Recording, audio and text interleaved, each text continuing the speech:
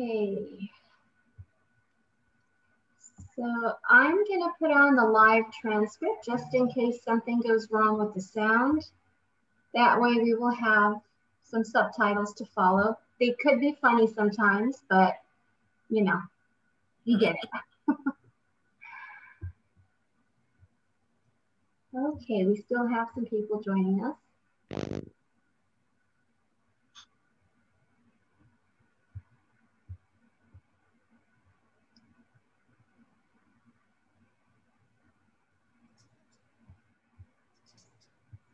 Okay, well, welcome everyone one more time.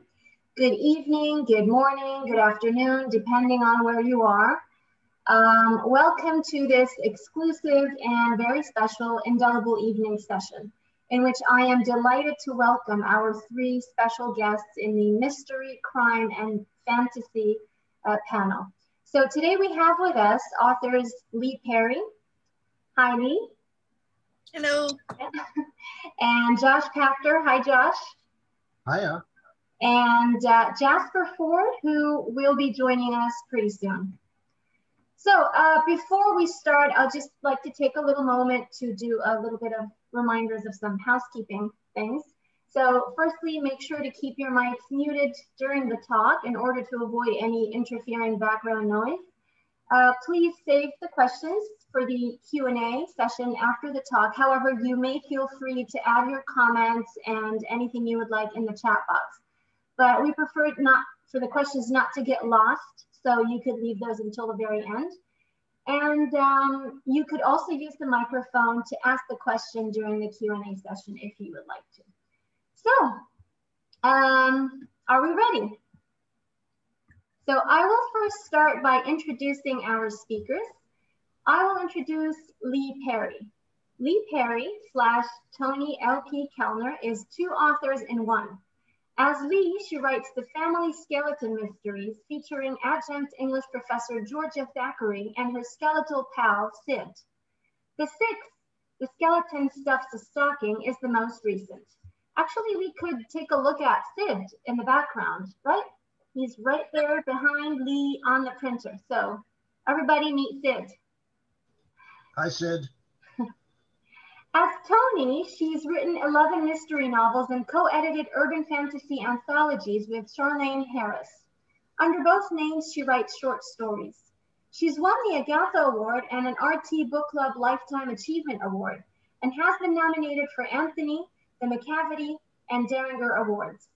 Forthcoming is a family skeleton short story in Ellery Queen Mystery Magazine, and she's working on another family skeleton novel.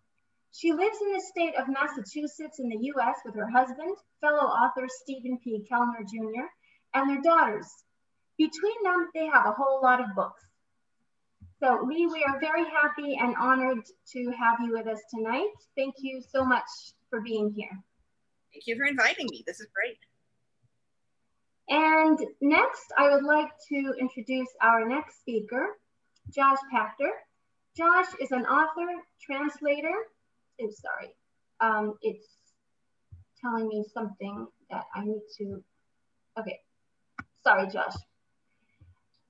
Um, Josh is an author, translator, and editor of short crime fiction. His stories have been published in Ellery Queen's Mystery Magazine, Alfred Hitchcock's Mystery Magazine, and many other periodicals, anthologies, and year's best collections since the 1960s. And his translations of stories by Dutch and Flemish authors appear regularly in Ellery Queen's Passport to Crime department. As an editor, his recent titles include Only the Good Die Young, crime fiction inspired by the songs of Billy Joel and the beat of Black Wings, crime fiction inspired by the songs of Joni Mitchell, from Untreed Reads, The Great Filling Station Holdup, crime fiction inspired by the songs of Jimmy Buffett from Down and Out books, Amsterdam Noir from Akashic Books, and The Misadventures of Nero Wolfe from the Mysterious Press. Last year, the Short Mystery Fiction Society awarded him its Golden Derringer Award for Lifetime Achievement. So again, I would like to welcome you both. And uh, yeah, uh, Jasper Fforde is still not here yet, but I guess we can start anyway. All right, so uh, perhaps we can start with each of you telling us a little bit more about your work for those who are not familiar with your writing. So how would you describe your work? Shall I go? Yep. Gladly. Um, I started out writing uh, cozy mysteries. I've written two mystery series as Leigh, excuse me, as Toni Kelner, which was a one was a Southern American uh, mystery series set in North Carolina, and then I wrote a, a, a shorter series set in the Boston area. But what I'm working on now is the Family Skeleton series, which I probably have the most fun with, which is about uh, an adjunct English professor, which is an English professor who doesn't have a full time job but has to wander back and forth and um, her best friend Sid, who is a walking, talking skeleton. Needless to say, these are not dark and gritty novels. They're, they're, they're on the lighter side, but they're a lot of fun to write. Um, so I've had six of those come out, plus the short story that's forthcoming. I'm working on a new one. Uh, my other work has been uh, co-edited in urban fantasy anthologies, what they tend to call dark fantasy in other parts of the world, I've noticed, uh, about vampires and werewolves and stuff. And I did, we did seven anthologies together and which taught me that while with my novels I might stick a little closer to home, with my short fiction I'll, I'll do anything in a short story because it's so much fun to experiment. So my short stories are where I generally go to experiment and try something new. And my novels I stay a little bit closer to home other than the walking, talking skeleton part. That's kind of a capsule, I guess. So um, primarily, I'm a short story writer. I, I did collaborate on one novel with a, a Belgian author, Bavo Dhooge, which is probably the, the most high concept novel in the history of literature. I can tell you the entire plot line in five words. Zombie cop chases serial killer. Uh, that was published about, I think, eight years ago by Simon and Schuster. But other than that, I write short stories. I've been doing it, as Roula said, for quite some time now. My first piece of published fiction appeared in Ellery Queen's Mystery Magazine in 1968. I was 16 years old uh, when I wrote it, which made me the second youngest person who's ever published in EQMM. There was a guy named James Yaffe who had a short story in the magazine when he was 15, damn him. Uh, but I, I, I write uh, mostly for Ellery Queens. I also uh, do write for Alfred Hitchcock's Mystery Weekly, uh, Black Cat Mystery Magazine, some others. Uh, I, am one of those people who uh, really doesn't have a routine as a writer. I write when a story comes to me and says, please write me. more of a, a regular thing for me is translating and editing. I translate primarily for EQMM's Passport to Crime department, although I've also translated for Alfred Hitchcock's and other, other places. Uh, but uh, Queens is wonderful in that every issue, which means six times a year, they publish a story that was written in a language other than English. Uh, and I have translated for them from so far seven languages uh, Dutch primarily, Flemish, South uh, uh, Afrikaans from South Africa, uh, Spanish, Italian, Romanian, and Chinese. Next up, I think, is probably going to be German. I just, in fact, got a story uh, from a German author today with a request that I, I, take a look and see if I thought it would be right for EQMM. And then I, I, lately I've been doing a lot of editing of short story collections, and I've been having a lot of fun with with those. These inspired by anthologies, inspired by the the songs of Joni Mitchell, Billy Joel, Jimmy Buffett have been great fun. Uh, and then the next one up is very different. It's coming out in September. It's called Monkey Business, crime fiction inspired by the films of the Marx Brothers. And that one also was great, great fun to work on. That's a little thumbnail sketch of what I do. Thank you. That's fantastic. Uh, now I want to ask you both, in what ways do you feel that your writing may have changed over the years? I think with my early. You want to go, Josh? No, go ahead, Leigh. Ladies first. Um, when I started writing, and I found this true of a lot of mystery authors, the first series character is a lot like them. So in my case, it was a North Carolinian living in Massachusetts. I was a North Carolinian living in Massachusetts, working in the computer industry, married to an academic. My husband didn't end up staying in academic. He left academia a long time ago, but at the time we thought he was going to be in academia.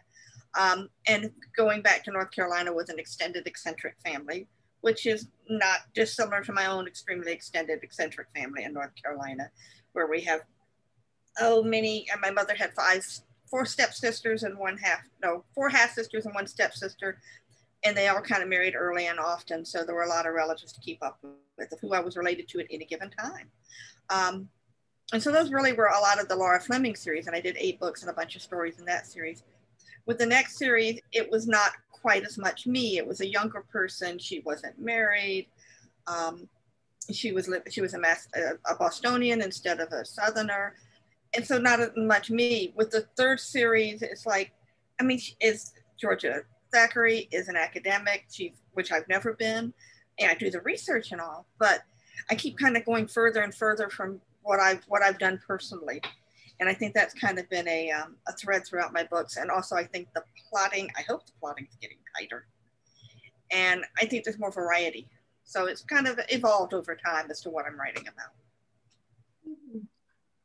Well, when I started, as I said, I was I was was a kid, um, and so one of the ways in which my writing has changed over the years, hopefully, is that it's gotten better uh, as I've, I've gotten older and, and gotten more experience both at writing and also at living.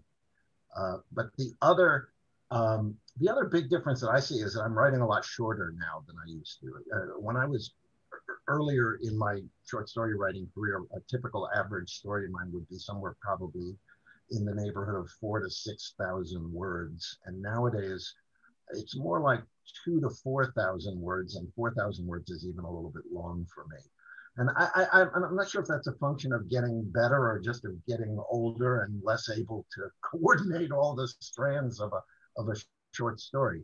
Um, but I do see that, that they've definitely gotten smaller, or shorter. In fact, I've, I've recently begun to write at a length that's called flash fiction, which mm-hmm. means a complete short story written and the number of words varies from place to place, but generally, most commonly, a thousand words. And I've done a uh, quite a few of those over the last uh, couple of years. Um, the other thing I guess that's different for me, and I'm going to go back to something that Leigh said, talked about how at the beginning her first series was a character very much like herself. Um, I'm not really much in the way of a series writer. I have done a couple of series. Uh, my first three short stories were all about a family uh, with a whole lot of kids named after famous fictional detectives. And the, the point of view character in those was Ellery Queen uh, Griffin. Um, the stories all appeared in Ellery Queen's Mystery Magazine. And that character was very, very definitely the teenage me. I, I, went back to that character a few years ago to celebrate the 50th anniversary of my first publication. And I wrote a, a, a fourth story in that series about young Ellery now grown up. And probably to nobody's surprise, young Ellery grown up is still me. He's a college teacher uh, uh, who, who, who, does some writing on the side. It's very interesting. Now, I want to ask you both if you have any specific uh, writing rituals or writing habits. So, what is your writing process like? Is there anything unique to you in the way that you write? Is there any specific mood that you need to be in? Um, special setup? Should I take a turn going first, Leigh? You go for it. Okay, I, I, am not a process writer. I know that there are people, and, and Leigh, I don't know, you'll tell us. I don't know if you're one of those people who sits down every day from X o'clock to Y o'clock, or sits down every day until you banged out X number of words. Uh, but that is definitely not me. I, I, I, spend way more time not writing than I spend writing. If I have a process at all, I suppose the process is trying to figure out a way to avoid writing. I kind of write when I can't can't avoid it.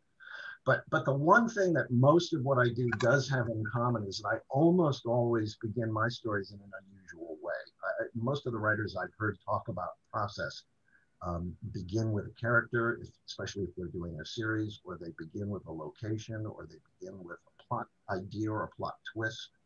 Um, but I almost always begin with a title. I will see a phrase uh, or I will hear a, a, a, phrase. And, and actually, it's gotten to the point now where my wife will turn to me and say, Yeah, that's a story title for you. Uh, and once I have a title, then the, the, the rest is just kind of figuring out the story that would, would accompany that title. Uh, I'm do I'm working on one now. Uh, we were just in Savannah last weekend to celebrate my wife Lori's birthday, uh, and in the middle of Savannah, we got into a conversation with somebody uh, who referred to uh, a flight of stone steps that lead down from the Savannah waterfront up into the city proper as the stone steps of death. And Lori turned to me and said, Josh, that's your next story. And sure enough, I started writing it that day in our Airbnb room. Uh, but I, that's about as far as I can go in terms of process. Start with a title, and then, you know, sooner or later, there'll be a story that attaches to it. That's interesting. So the title is your prompt, and then you let it take you. almost always, very few exceptions. Wow, that's very interesting. Is it the same for you, Leigh? Oh gosh, no. Um, I have I have no process. Um, I tend to write in the wee hours of the morning. I don't know when it's quieter, where there's fewer interruption. And in fact, at one point I was writing. This was some years ago, but I was writing and I noticed some weird lights outside. It's like, what are those lights? And I realized it was dawn. I'd written through the night and hadn't even realized it because I started late, just kept on going. Um, I find it, I, so I write at night. I tend to go through a period of kind of, I think Peter Elbow called it free writing or pre writing or just kind of making notes about what I'm going to do. Once I get into a piece, I didn't have a word count goal per day and, and I'm pretty methodical, but getting me in is like, is really hard. And during the pandemic, when I thought, sure, I would write a lot because I've been, I'm home and I can't go anywhere and it's your distraction. But I, the stress level just has not been good for my writing. I've written very little during all of this. It's coming back again, which makes me happy. Mm-hmm. Um, as far as where I start, I have started with with the series. I tend to start with the characters, but also a new situation for the characters. Uh, with the, the the family skeleton book I'm working on now, is based on a summer camp that my daughter attended because a lot of the, the, the, counselors who ran it were teachers during the year or, or, college professors during the year and then would do this during the summer and it's and it's a, a particular kind of camp it's called larp live action role play where they kind of put on characters like a dungeons and dragons or a, lord of the rings type characters and stay in persona for the camp and then they're kind of creating their storyline as they go very much interactive literature which i thought was fascinating and, and my daughters have done it and i've played a lot of D&D when I was younger, so I'm kind of using all that for the background. I have started with titles. Um, a title from a, a, short story I wrote called Sleeping with the Plush, which is a chapter title from a novel, from a, book, a nonfiction book on carnies I read. And I thought, and the, the title of the book was Eyeing the Flash. And I'm like, you had a title like Sleeping with the Plush and you didn't use it. Well, I'm going to use it, gosh darn it. And so I wrote a short story based on that. But then I've had other stories where I write the whole story and then have to come up with the title. It just, it just depends on the piece. So I don't have a very good process, I'm afraid. And I don't listen to music because I'm hard of hearing and music would be too distracting. So other than other than writing into the wee hours, that's as much process as I got. And how did Sid come to you? That's so embarrassing. I don't remember. Um, okay. I, a friend, I was between series, which one series had ended and the next one hadn't been sold yet. It, it did end up selling, but in the interim, I was trying to come up with something new. Um, paranormal mysteries were doing very well. Mm-hmm. And I thought, well, maybe I'll do something paranormal. And I started, well, I don't want to do vampires because you know, one of my best friends is Charlaine Harris, and she pretty much has that wrapped up. I'm not gonna, not gonna even go there. And I thought, well, werewolves. My friend Dana Cameron was doing werewolf stuff. Like, nope, not going there. And I started going through, it's like, yeah, Jim Butcher's doing wizards, and this person's doing witches, ghosts, angels, all these different kinds of ghost cats, all these different kinds of characters. And it's like, what hasn't been done? And I thought, well, no one's done a skeleton. And I immediately heard what his voice was going to be like. And even though I reconfigured everyone else in the book, Sid the skeleton has been the exact same since he just popped into my head that sure, no one's done a walking, talking skeleton. Yeah, there's a reason for that. It's weird but it's been fun. So you took the road less taken. Taken. And then he sat on the computer for 10 years until I actually got around to doing something and trying to sell them. Uh-huh. Oh, very interesting. I mean, Sid is such a wonderful character. Yeah. Now, uh, I want to ask you, uh, again, the question is for both. Uh, are there any, I mean, what, what do you think draws your readers towards your novels and short stories? mysteries in general, I think people like a clear cut ending. They like the guilty to be caught. If it's a harder edge, it's going to be caught, but you know the world's still dark afterwards. But in the traditional or cozy type, you know you you've you've defeated um, entropy, you defeated the chaos of the world by bringing law and order back. And I think that's very satisfying to people that you have an ending, that, that, that, and even you know sometimes the, the the villain gets away, but he's been found out. And I think that's very satisfying for people. As far as the fantasy element, as we said, I think people like the idea of a little bit of magic. Maybe not, you know, but but not going as whole hog all the time as into a Hogwarts or a Harry Potter kind of world. Mm-hmm. I think it's it's it's been said probably a, a trillion times, uh, so I don't want to use the word escape, mm-hmm. but I don't think it's all that interesting for people to read about the life they're actually living. They're living that life. What's interesting is is to read about a life that you're not living, and, and fortunately, still in 2021, most of us are not living terribly close to crime, and none of us are living in a world where skeletons walk and talk, and the Hogwarts School of Witchcraft and Wizardry exists. So fantasy certainly gives us a chance to get out of our everyday life, and even crime fiction gives us that opportunity. It gives us a chance to look at at, at another world, the world in which evil things happen with some regularity uh, to people who don't deserve them, and, and hopefully the deed doers are, as Leigh says at the end of the story, caught and, and pay for their crimes. Uh, although, of course, sometimes uh, in the real world, the evildoer doesn't get caught and doesn't pay for mm-hmm. her or his crime. And, and so that's also reflected in the world of crime fiction. So I'm not sure that t- to escape your real life is the right way to describe that. I mean, you know, I'm not sure that my life is one I need to escape from, but it's nice to take a vacation from it uh, by picking up a book and reading about things I don't see around me every day. So it's like exploring different worlds or exploring yeah. different layers of reality. It's like travel that you can do during the pandemic. Uh huh. Yeah. I thought I think that uh, especially with your with fantasy element, it gives you a chance to look at this world's problems at a, at a distance, at a perspective. Um, this is more TV than, than books, but in Star Trek, the original series, they would discuss all these things about sexism, about racism, and they would put a science fictional and you could see people going well this is all stupid and you're watching you yeah this is really stupid for a guy who's white on one side and black on the other to be different from someone who's black and white. I mean it was a very heavy-handed anti-racism episode.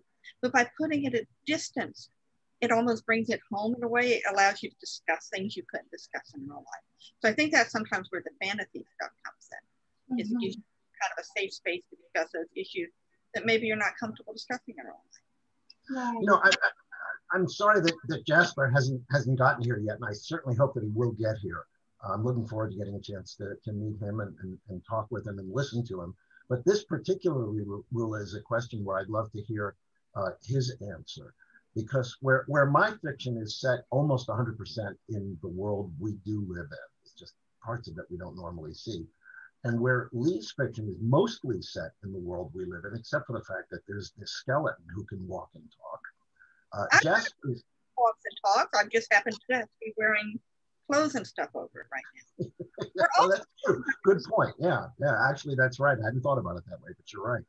But of course, Jasper's fiction um, in in his various different series, the Thursday Next series, the, the Nursery Crime series, the Dragon Slayer series, and now one book in the, the Shades of Grey series.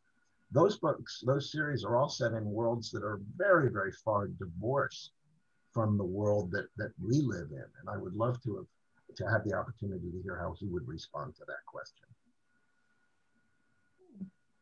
Well, I mean, uh, and this is just to, to follow with the previous issue of Indelible, which was about escapism which was about, you know, we had a few um, contributions from authors of, of fantasy and science fiction as well. And they pretty much say the same. So it's like looking at our world, but from a distance, and at the same time looking at parallel worlds. You know, the element of, of as you said, Josh, before, of taking a vacation um, not to a place where you know not not for having peace but you know just a vacation sort of like explore what it would be like living or being in different dimensions So it's very interesting. And we know that people are drawn towards fantasy and fiction and, and mysteries ever since, you know, ever since they're very young. Um, and now I want to ask if you've had any specific favorite authors or books or even movies that sparked this interest in you or that still influence the way you write? Any um, source of inspiration coming from books, movies, authors? All of them. I mean, after a while, it all kind of it's all grist for the mill, and that you're you're everything you see kind of influences or read influences what you're working on. Uh-huh. Early on, um, I was trying to write science fiction. I just was really bad at it. But the authors I for my big inspirations were Robert Heinlein, because he got mm-hmm. me into science fiction in general. Um, and I thought that Andre Norton, who's not much as much heard of these days, but she uh, wrote the kinds of things that I wanted to write. But it was reading Isaac Asimov, and he did a couple a series of anthologies called the Early Asimov, and uh, excuse me, single author collections, not anthologies, in which for each story he would tell his process of how he learned to write the story. And the first story of the book was really not very good. He was very honest about that. This was the first story he'd written. It went through this process and this process to get published. And he kind of worked out how to create a writing career. And I found that, oh, so that's how it works. You don't have to write your first story and be as good as a Heinlein or, or a Norton. You go, you can be you can be a newbie and kind of build yourself up. And I found that very inspirational, just kind of the process. I mean, his process in terms of getting published, that's all changed these days. But the learning and improving a craft piece at a time, like this story was had a great idea, but this story had a great idea and it had better characters. And this one had a good idea and the better characters and better pacing and how he kept learning different parts of his craft. And that he didn't have to start out as a genius, that he could just kind of work his way up was very inspirational for me. Because I could be a bad science fiction writer, I just couldn't be a good one. Mm-hmm. I, I, would agree with Leigh that everything is grist for the mill. Um, but if I if I if I had to point to a couple of uh, writers from whom I learned things that have had real value uh, for me, I, w- I would point to Ray Bradbury, uh, who showed me that prose can be poetry. Uh, and I would point to Ed McBain, uh, who, who showed me how to do dialogue and that dialogue is, is vitally important to fiction.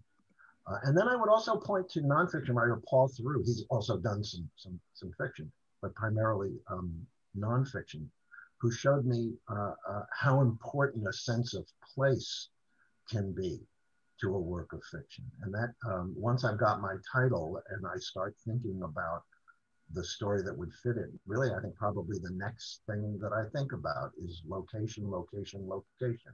Where where is a story with this title going to happen? And I probably spend more time uh, researching locations than I spend researching anything else. I want my locations to be as close to real places as possible. So those three, uh, Bradbury, McBain, and Theroux have had noticeable influence on my own work. How about Terry Pratchett? You know, I mean, you could name you could name a thousand writers who I think Leigh and I know I would would nod our heads and say, "Oh yeah, you know, mm-hmm. absolutely." And this is getting back once again to that grist for the mill concept. Yeah. Everything, everything. If, if you don't take anything away from it, you might as well not have read it, really. Even if what you take away from it is, hey, don't do that even in a funny thing, even authors that I haven't read could be an influence by the way they run their careers or the way they approach writing. Mm. Science fiction author, and I cannot remember his name, and I never could get through. Um, Gene Wolfe, Gene Wolfe, and I, his book just never spoke to me whatsoever. But I heard him speak several times about how he feels about writing and what he tries to put in his writing, and that all inspired me as a writer, even though his work didn't work for me. I also see writers um, whose kind of careers I like mean, and I don't mean just in terms of success, but in terms of bravery. Um, Barbara Paul is a science fiction, a science fiction and mystery writer, and I think most of her stuff is out of print these days, except for her one Star Trek tie-in novel. Uh, but she was a wonderful mystery writer, and I don't think she hit it big because she never did. She didn't follow the the usual path, you know, which was you know to start a series, which is more popular in, in mystery novels she just, you know, she would do went her own way and she did these wonderful books and she didn't hit it big, but the books were great. Um, Charlaine Harris is another very brave writer because, you know, she could have kept writing the Sookie Stackhouse slash True Blood series for years. They wanted, they were throwing money at her. And she's like, no, I, am done. I'm, I'm going to do something else. And, you know, if the, the next books didn't sell as well, she didn't care. She was doing something new and she enjoyed it. And they were still good. Mm-hmm. I admire that kind of, yeah, forget this. I'll just do what I want. Exactly. I mean, as you also mentioned before, as Josh mentioned, you know, you sort of have like a prompt and then you let it take you wherever it takes you. You're doing what you want um, without sort of the end in mind. So it's um, it's kind of like a journey, right? Would you describe it as such? Definitely. Okay. Right. Now, how much truth is there in fiction? In the type of fiction that you write? Well, as I as I said a minute ago, um, there's a lot of, of geographic truth uh-huh. uh, in the writing that I do. I, I, I, am very careful to to. You know, in fact, thank goodness for Google Earth. Google Earth has been such a godsend to me, especially uh-huh. Street View. I actually called my wife into my office last night. I'm working on a, another story, not the Stone Steps of Death, but another one that's set at an elementary school. And on Google, Google Street View, I found a a beautiful photograph of the front of an elementary school. And I had to call my wife in. She's a master naturalist in Fairfax County, Virginia. And I said, What kind of trees are those? So I could get the trees right uh, in the story. I mean, you know, everything that uh, the stories that I write are made up, but I hope that the people are believable. I hope that, that, that when you read something of mine, you find yourself thinking, yeah, I can believe that these are actual people or that these at least could be actual people. So to the geographic extent and to the personality extent, I, I think and hope uh, that there's truth in what I do. Mm-hmm. I think there's, I mean, I think I can probably put more fiction than I could put in, in, in nonfiction. Uh, the Sid books, despite the, the, the skeleton and the, the bone jokes, of, of which there are plenty, trust me, they're about friendship and they're about family and they're about found family. And I think there's a lot of truth in that with my Laura Fleming series, which were the first books I wrote, the ones set in North Carolina.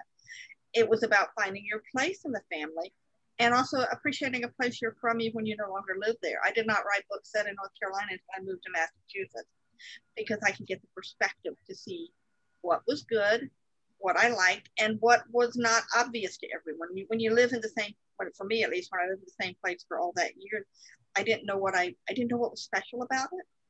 I mean, everyone I knew knew the same kinds of things. I had to get away from it and say, oh, these people don't know what a fish camp is. And they don't use the word y'all every day. And they don't, you know, all these these silly, you know, they're not part Cherokee. I mean, everyone was probably part Cherokee, big deal. And you come in here, it's like, yes, I'm part Cherokee. Oh, wow, First Nations. I'm like, I don't know what you're talking about. That was just my great great grandmother. I don't know. Um, and all those, you know, so that, that those series were really much, very much about making my peace with North Carolina, having left it. Um, the Tilda books, Tilda was kind of, which was a series set in Boston. It was about a person who wrote Where Are They Now stories, stories about people who used to be famous. And then some of them get murdered. She gets to solve the mysteries. It's great fun. But I was kind of talking about nerd culture, um, the, the, same kind of stuff you see on Big Bang Theory with the, mm-hmm. you know, mm-hmm. lots of science fiction, lots of comic books, lots of just people who remember all the episodes of the Brady Bunch. And it was, you know, kind of come playing with that. So, and why people find those comforting. So I think there's a lot of truth in my fiction, but you know, that doesn't mean I'm going to leave out the murders or the bone jokes. There's room for both. Mm-hmm. Mm-hmm. Love a good bone joke. Absolutely. Well, I mean, both of you mentioned the importance of location. Have you ever written, um, I don't want to use the term in real time, but at a specific location. Um, so have you written about a specific location while you were in it at the same time? So for example, you're on holiday and then the setting kind of inspires a, a story or a novel. Have you actually sat there and, and written and copied and drank in everything around you and wrote it down? Or is it usually after? Do you let the dust settle first and then kind of start writing? Well, for me, it's usually after the dust has settled, but the mm-hmm. big, I guess, exception to that would be um, in the 1980s, I spent 10 years, 11 years, um, 80s and early 90s, living overseas, uh-huh. uh, teaching on American military bases for the University of Maryland's then European division. Now it has a different name. Mm-hmm. And at mm-hmm. one point, uh, they sent me uh, to the island emirate of Bahrain, not too terribly far from where you are right now, mm-hmm. Uh, and uh, plopped me down there for a year. Now, Bahrain is tiny. It's uh, an island emirate, uh, and the main island, which is where almost everybody lives, is only five miles wide and only 10 miles from top to bottom. And uh, the bottom half of the country is a Bahraini military territory. So the actual size of the inhabited co- country is 25 square miles. There's not a lot to do there. So I thought, well, let me write a short story set here in Bahrain, and I did um, and and um, wound up even after I left Bahrain writing more of them. It's the longest series that I've ever done. It's not very long. I don't write series, but there are ten stories in the series. Uh, I wrote the first three of them while I was there in Bahrain, and then seven more after I left the country. I've written while living here. I mean, I, have set some of the story of the where the Now series was set in Malden, Massachusetts, which is where I live, but mostly it's from I need the distance, and it, it wouldn't necessarily. I would set things in apartments I used to live in. I have to. I need the perspective for my stuff, I guess. And what, was, what gives you the, the, the vibes, like the mystery writing vibes in a, in a location? What are some of the things that actually spark a story? Mystery writing is easy. I mean, all you have to do is have some reason to want to kill someone. And if you've written in bad enough traffic, you go to a family reunion, you know, academia, there's always some reason. I mean, it's, it's exaggerated. In real life, you would probably just, you know, make a rude gesture or, or cuss at them or something. But in mystery, just take it a little bit further and go ahead and kill them. It's more sense. Wow. yeah, I'm a I, I, would I would second that, uh, but I would also add that um, at least for me, because I'm doing short stories, if you're going to write a mystery novel, it's got to have murder in it, pretty much. Uh-huh. Uh, but short stories at that length, it, there is no requirement that there be a murder. There has to be some kind of a crime, but it doesn't have to be murder. And I would say that a lot of what I do um, doesn't involve murder, and very, very little of what I do involves on stage murder. Usually the murder happens either before the events of the story begin or off stage during the events of the story. But I'm, I'm, I'm always looking as I travel. Lori and I, we do a lot of traveling, at least we did before before COVID and will again after it, I hope, or, or after it becomes less severe. Uh, and I'm, I'm just always kind of looking for what bad thing, not necessarily a murder, could happen here. Uh, and, and then that bad thing turns into meat for a story. Mm-hmm. Were you ever inspired by any real murder stories, like things you see on TV or that you hear on the news? oh, I'm, I'm working on the, the, the, elementary school story that I'm working on now uh-huh. is inspired by something real. Um, okay. Um, there's there's a group uh, uh, online uh, and offline called the Short Mystery Fiction Society. You mentioned them when you were introducing me. They're the ones who gave me their Golden mm-hmm. Derringer Award for Lifetime Achievement last year. Uh, and I am a regular reader of their listserv. Um, and uh, somebody recently made a kind of a, a, derogatory comment about the Billy Joel anthology that I just had come out last month, saying, you know, Billy Joel's not really a musician, so why in the world would you do a whole book devoted to him? And I made a joke on the list serve. I said, well, okay, fine. You know, I, I, I promise you I will not do crime stories inspired by one-hit wonders. Well, the next thing you know, a publisher, the, the publisher who did the Billy Joel anthology, decided he's going to do that book. He's going to do a book of crime fiction inspired by one hit wonders, and he invited me to submit to. Mm-hmm. So I picked a song that came out in 1979 by a band, uh, an Irish band uh, called the Boomtown Rats. And I suspect that people who are here with us today know the song. It's called I Don't Like Mondays. Oh, yeah. Uh, and that song was inspired by events that happened six months before the song came out when a 16 year old girl Brenda Spencer, wounded eight school children, killed the principal and a custodian, and also wounded a police officer outside of Grover Cleveland Elementary School in San Diego, California.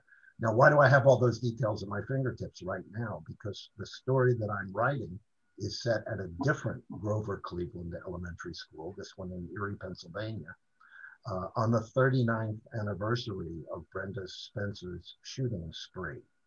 Um, and uh, uh, so th th this story got its origins in a song, which got its origins in a real world event. Mm -hmm. I have a short story called uh, "Lying in the Road Death," and this was one of the rarities where, where I did start with the with the title. In North, my husband found this fact in a book. I don't remember what he was reading, a book about North Carolina, a book of strange crimes or something.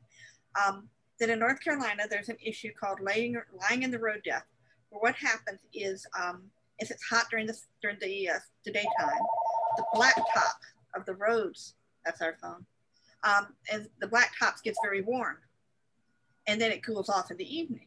Well, people who were drunk would be walking home and they'd get tired and they and they'd be cold. And oh, but the, the, the road's nice and warm, so they lay down on it and get warmed up, fall asleep, and get run over by a car or a truck. And and this happens with such regularity that the medical examiner would say, ah, yes, we have another lying in the road death. And so I use that as the basis for a short story And the mm-hmm. idea of someone who was lying in the road, or, or was it murder? Did they make him lie down at all? I'm just playing the word because I just thought that was such a funky little title. Mm-hmm. And um, one of my let's see which books I used the syndrome that um, in the last of the Tilda Harper series, Blast from the Past. I um, wrote about people. There's a case of you know, Wizard of Oz had the guys who were the Munchkins, and uh, a bunch of the Munchkins would then tour going to collectible shows and, and all kinds of events as being you know, the mayor of Mun- meet the mayor of Munchkinland, meet the coroner of Munchkinland. Well, there were people who would go around being the mayor of Munchkinland who were not, in fact, the mayor of Munchkinland. Some of them had not even been in the movie. But these people pretending to be someone famous and not big famous, not pretending to be Billy Joel, but pretending to be somebody really obscure. It's like, really? I just I just found that fascinating. So I use that as a plot point. Someone who's pretending to be a really obscure, famous, famous person, in uh-huh. order to make themselves happy. Which, which book was this again, Leigh? Or which story was this? I want to read this one. Oh, this was Blast from the Past, which Blast was one of the Tilda Harper series. Now, when you look at your characters, um, how real are they to you? So do you are they real to the extent that you know they, they actually exist for you or are they real only when you you know when you talk about them or when they pop into your head? I mean, what's the level of reality? Um, I've asked other science fiction authors before, and um, their answer was they are very real. So, do you feel the same way when you're writing mystery and crime fiction? I call it skeleton I see Sid now. So yeah, I guess they're pretty real. Like, oh look, there's a Sid, there's a big Sid, there's a little Sid. Yeah. I think if you create them well enough, is they're well enough to you that you they're real enough that I can say, oh, you know, Georgia would never do that, or yeah, I can see Tilda doing that. But you know, yeah, they're pretty real. Mm-hmm. They're realer. Some of my relatives are much more interesting. Mm-hmm. Um, I, I, have something to say about that, but before I do, I just spotted that Glenda put in the chat that uh, correctly that the Boomtown Rats were not one-hit wonders in Ireland and the UK, and that is correct. Uh, and I, in fact, I mentioned that to the editor of the One Hit Wonders book and said, yeah, they were one hit wonders in America, but not elsewhere. Is that okay? And he said, yes. So, Glenda, you are correct, but apparently it was okay for this book anyway. Um, well, as far as realness of characters goes, I have to tell you, uh, going back to that Bahrain series that I wrote, um, I uh, uh, uh, when I came up with my idea for the first of the Bahrain stories, I wanted to use a police officer, and in Bahrain at that time, the entire police force was Pakistani uh, because you couldn't have a, a, Sunni police force because they would pick on the Shias, and you couldn't have a Shiite police force because they would pick on the Sunnis, and you couldn't put them together because they would pick on each other. So the entire Bahraini police force was imported from Pakistan. And they had a barracks, a police barracks, uh, right next door to where I was living. So I walked up uh, next door to the police barracks, and there were a bunch of these guys sitting in a circle outside on the ground, enjoying some time off. And I asked them if I could join them, and they welcomed me. And I said, I'm an American, I'm, I'm writing a short story set here. I, I want to use a police officer. Can you tell me if I was going to write about a Bahraini police officer, what would his name be? And somebody immediately yelled out a name. And I said, and, and is he married? And somebody immediately yelled out yes. And I said, where in Pakistan is he from? And somebody immediately yelled out an answer. And this went back and forth probably for 30 questions and answers until I finally realized that they weren't just making stuff up. They were telling me their own truths about their name and their marital status and where in Pakistan they came from.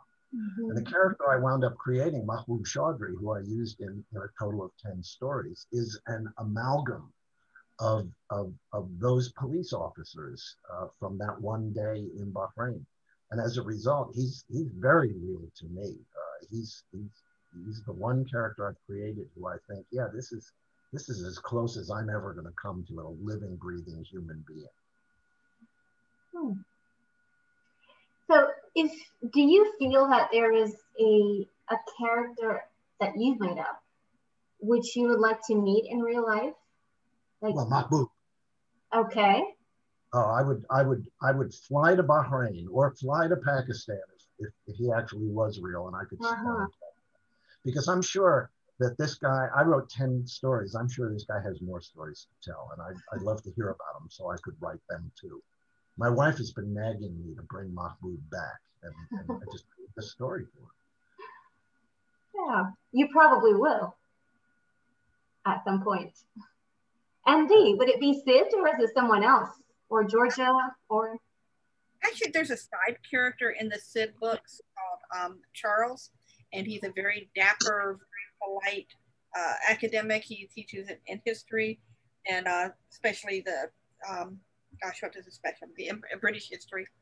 And I just thought he would be kind of fun to be and have hang out with because he's just so polite and charming and he's not a huge part of the books, but him I like. I always worry that my main characters might like me, not like me, and that would be embarrassing because you know they have all these interesting life-solving mysteries, and I just sit at home and write. How much interesting?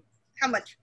What would they have to talk to me about? But with Charles, he's so charming, he would put up with me being boring. Mm-hmm. So he's probably my, my number one pick. Well, do you do you talk to your characters? Is there any form of active imagination that you do? do they do you just watch them be and become and, and have their conversations or do you feel like you tailor it i know josh said that the title takes him so there's probably a little bit of you know um, sitting back and watching things unfold does that also work for you Leigh it, it tends to is a kind of a mix once the character's established enough I can certainly say, no, this doesn't make sense. The character wouldn't do this, the character wouldn't do that. But I have to get to a point, get them to the point where I can write about them as a main character, not so much as, you know, with a small spider character. But for protagonists, I have to be able to kind of hear their voice. Uh-huh. Uh-huh. You know, I'll write and I'll, you know, with Georgia, for instance, she started out single, working as a grad as a grad student, and then she became older, and then she became younger, and then I gave her a kid, and all these different things I kept trying until I could hear her voice consistently in my head. Uh-huh. Until there was why I went through so many different iterations of what her name was going to be, what she was going to be like. When I felt like I could hear, the, hear her describing things, that's when I could write about her. So at that point, you know, everything I do from that point has to be consistent. So if, if it's so it's um, you know, they, they, I won't say they take over, but I can certainly tell when I've gone off track. Because you know once you build a house you can't suddenly have a window there that wasn't there before. And it's the same with the character. Once you built a character you kind of know what path it's going to go on. Right. That's very interesting. You know when when i translate i i really feel like the most important part of the job is to get out of the way uh, what i what i as a translator am is i'm a conduit from the original author to the ultimate reader. And my job is, is just to, if this person knew how to write effectively in English, what would they have written? That's the job of being the translator. And I feel kind of similarly about being a writer. You know, if, if these people were real, if these events were real, what would they say? What would they do? And, and, and I, I, I kind of feel like, no, they don't talk to me. but my job is to get out of their way and let them talk directly to the reader. Right. Um, I have a question about your future projects, uh, which you may have started or you may um, be thinking of starting. I mean, now we're in the pandemic.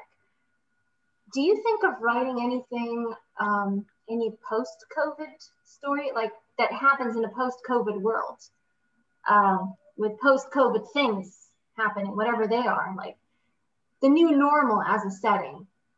Do you have anything like that in mind at the moment? the book I'm working on, which is going to be uh, another family skeleton book, and I mentioned it said at this this LARP camp, and um, and probably it's no surprise to anyone, the people who tend to go to these LARP camps are often a little bit of nerds. They're not they're not the jocks. They're not the popular kids. They're the, the outcasts, which means that a LARP camp is extremely important to them. It's the one time of the year where they can be with their tribe and feel comfortable and feel cool. Mm-hmm. And I'm mm-hmm. thinking of those kids after a year, having missed it for a year. And part of the issue is um, if there's a murder at this camp, and you would think, well, they're going to close the camp. There's a murder. They're not going to leave these kids around. But I can see George's entree to the the, the um, solving the crime and Sid's as well. It's the fact that these kids have been away from the people they feel the most safe with for a year and a half, and they're not going to interrupt it if they can solve the crime and make and keep the camp going. That's kind of their goal to keep the investigation. Because when you're ever writing about a non-professional mystery solver, getting them involved in the mystery is sometimes the trickiest part. Because most people, if they encounter a dead body, do not then go, "Well, I shall now solve this mystery and forget about the cops." Okay, once in a while. Um, so the same thing with, with Georgia, she's got to have a reason to solve every crime, and she instead have to have a reason for getting involved. So the reason for getting involved is these, so these poor kids will not have to be sent home from their one happiest moment of every year. And when you're, you know, 13 14, a year and a half, two years is a long time to be without your mm-hmm.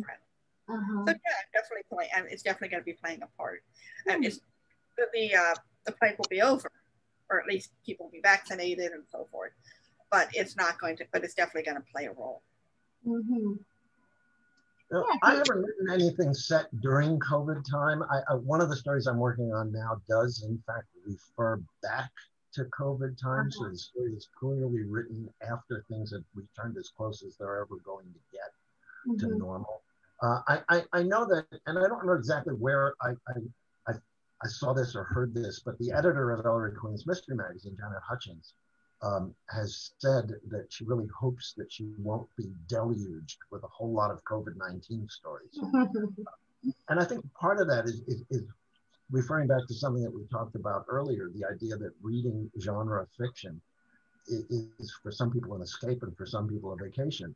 Uh, mm-hmm. And whether you're escaping reality or taking a vacation from reality, this reality has just been so horrifying uh, so much death, so much loss of income, so much illness um, that that we've had to deal with all day, every day for 15 months now.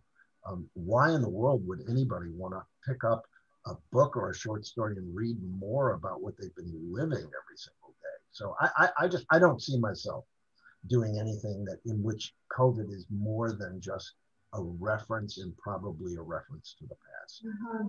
Uh-huh going to be a lot of approaches. I, I think like when the uh, things first got started, there were people who had books coming out with the plague reference or maybe even yeah. zombie plague. Mm-hmm. Um, and at the beginning, they sold well because people, oh yeah, let's read about this stuff. Okay, it's bad, but hey, at least we don't have zombies marching down the street. Mm-hmm. But the further it went, the more people was like, yeah, I can't read this anymore. And I'm on the list with a couple of people, a bunch of people who write um, uh, traditional slash cozy mysteries and most of them are saying, yeah, we're never, COVID's never happening in our world. We're just not even going to mention it. And so I think it's going to be different, but I think maybe in 10, 15 years, we'll see those COVID stories set during COVID times.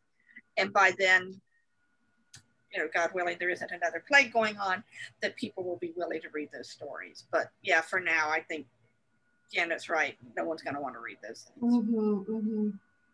Yeah, and then maybe later, as you say, um, could be different in 10, 15 years. It's like when we read stories set in World War II or whatever, so this might be like the World War III genre or something.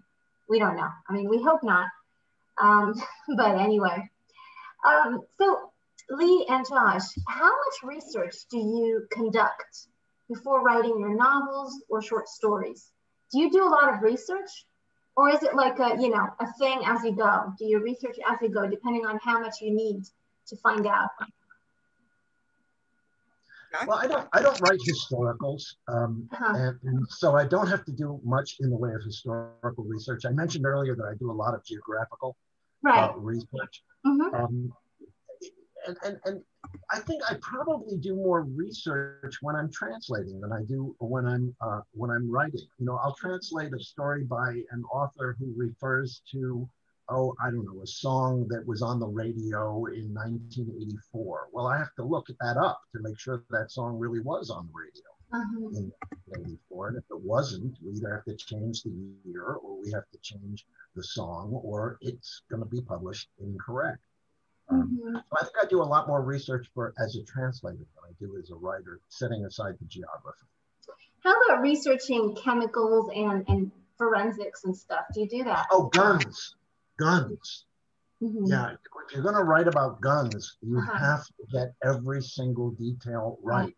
Because, mm-hmm. you know, as, as a writer, now it's probably different for novelists. I hope it's different for novelists. Short story writers don't get mail. Mm-hmm. But if we do, I would say probably 99 out of 100 pieces of mail are going to be some gun person somewhere saying you made a mistake when you wrote about that gun in your story. And so I, I, I do. I, first of all, I don't put a lot of guns in my stories, but if I put a gun in a story, I research the hell out of that gun because mm-hmm. I don't want those 99 letters. Mm-hmm. Mm-hmm. I, I, I kind of cheat on my research because I write about things I, I know about already. For, for instance, I like I like reading about the golden age of piracy. So I had read a fair amount about the golden age of piracy. So when I set, got an idea for a short story, um, which is your basic courtroom drama set aboard a pirate ship. That makes total sense. I started, you know, then I would do more in-depth research to go, okay, what would they have named a ship? Um, because you know there's their styles and what they and I had actually got a friend of mine who's an archaeologist of the right period that know that they would no one would name a ship that. How about this instead? Um, and kind of those little details of research. But I knew a lot kind of the feel already. And it's actually sometimes you get great stuff when you're doing research that you didn't expect to find. Mm-hmm. Um, I was doing the short story, and it was going to be set aboard a pirate ship, and it was being written for an anthology of legal courtroom dramas, which I did end up sending to because once again I wrote the story too long, so I had to tell it someplace else. I keep do, I keep doing that. Um, I can't writing a, a flash fiction just I can't do it. I just can't even introduce the characters that fast. Um, so I'm writing the story and I wrote it. And the idea was that um, when a pirate signed onto a ship, at the Golden Age of Piracy, they would sign the ship articles, which were the rules they had to live by, which would just, you know, how the money would be divided up, um, and you know what what the rules are, who you could do, what you could do, and you know you weren't allowed to kill your crew members. You would think they're pirates, they're murderers. Yes, you can murder other people, you can't murder your crew members. Huh. I thought, well, if someone gets murdered, then the they, they've got the articles, he broke the rules. They must have some kind of a, a court or trial. So I thought I'd do something with that. And so I started researching it and I found out that real life pirates as a hobby would reenact admiralty courts because if they if they you know they were uh, stuck somewhere and they didn't have anyone to rob that day they would you know, they would put on a fake court because they figured they would all end up in admiralty court at some point or another for their piracy sins and that they practiced in one day okay you get to be the prosecutor and you get to be the judge and you get to be the executioner everyone wanted to be the executioner i think. Um, and they would fake this out so, enough so that they knew more about um, the, the court procedures than many lawyers. And it's like this was like gold and i used this in the short story because they could put on a trial because they actually did do that um, I admit I only found this in one book, which was the erudite uh, tome, The Dummy's Guide to Pirates, but I'm going to say it's true and I'm going to use it. So sometimes you find these great things. You know, I was researching pirates in general, but I found a great fact that I could use.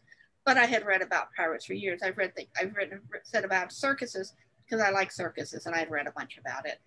Um, so I, I keep by writing about things I, am already interested in and then just doing the detailed research, the, the, the, small picture after I've got the big picture. Mm-hmm. Mm-hmm. But I, I, I, don't do a whole bunch of um, forensics research either. I don't even do guns, but I generally I'll just hit somebody instead because it's easier. Yeah. Um, it's just not what I'm doing in the books I'm writing. I, I, I like a book research those details well, but I don't have that much interest in doing the work myself. That's a lot like. Right, it's very interesting hearing you talk about, you know, this experience and, and the way you do it, what works for you, what doesn't. Are there any challenges involved? So what's what's the hardest part about your type of writing? About writing mystery fiction and murder crimes, um, uh, murder crime mysteries. So what is it? Both Leigh and Josh, is there anything that you feel is um, is challenging or is it not? Finding a new motive. Okay. It's, it's something, um, if the motive's been done 3,000 times, it's too easy to solve the mystery, and that's just no fun. Uh-huh. And so trying to find a different motive is always challenging. Uh-huh. Um, finding a way to make, as, as, anyone who's read on, on police, uh, real police officers knows, a lot of what they do is really boring stuff. Mm-hmm. I mean, weeks to get tests back. They have to question 3,000 people, most of whom know nothing. And it's a way to kind of fill in that space of what you have to do to get there and still make it interesting. These days, so much is done on computers, and there's a limit how interesting it is to say, and then I tapped a whole long time, and then I hit Google. And so trying to make that interesting and still keep moving, that's a bit of a challenge these days. I, I guess for me, the hardest challenge, I can't remember who said this, but somebody once said that writing is easy. All you have to do is get your butt in a chair and open a vein. Uh, and I think the hardest part for me is probably just getting my butt in the chair. I said earlier, I'm just, you know, I'm not a professional writer. I am an avocational writer, not a vocational writer. Uh, and uh, uh I'm, a, I'm just, I didn't hear you, Leigh. Say it again. You get paid for it, but you are by definition professional, Josh. Well, yeah. I mean, I'm professional because I get paid for it, but it's not. It's. It, I mean, it's beer money. You know, for me, uh, uh, short story writers do not make a great deal of money. Um, no, most novelists don't either, unless you're like Leigh is, one of the more successful ones. Uh, but if, if, if, if it was a question of, of doing this in order to make money, well, I would never do it. Um, but uh, I do it because uh, it's, it, I think Dorothy Parker once said, I hate writing, but I love having written something. And I feel, I feel that way. I mean, the writing part is agonizing for me, but the, the being able to pick up, uh, you know, a, a book uh, that has my name on it, uh, that part is, is thrilling. So uh, it's just the getting the butt in the chair part that is my biggest challenge.